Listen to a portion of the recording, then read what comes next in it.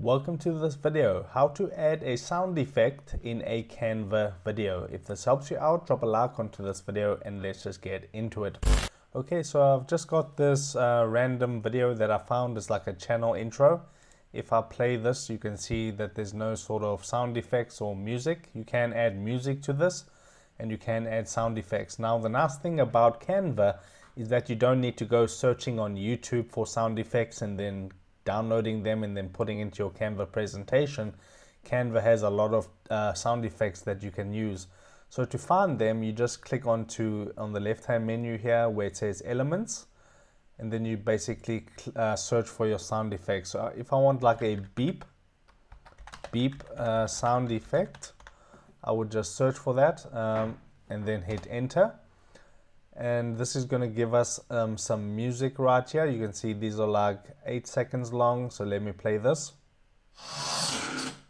So that's a sound effect. So if I click here there's also like beep beep countdown and tone so let me click on to beep.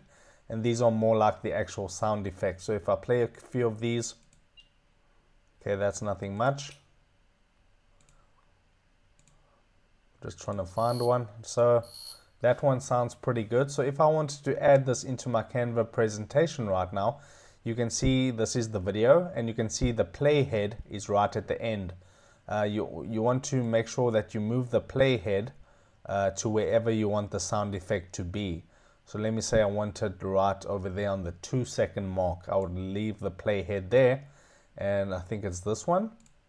So then all you need to do is click onto this sound effect and as you can see it now gets added into your Canva video. Now it's not set in stone where that is placed.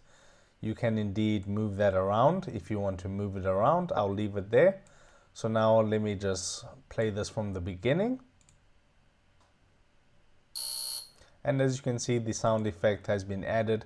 Then you can just search for here. Now you can see a lot of these are indeed pro uh, sound effects because it says pro right here but there also is if you go to filters right here you can scroll down and you can click on free as the price and then uh, you can click away click out of here.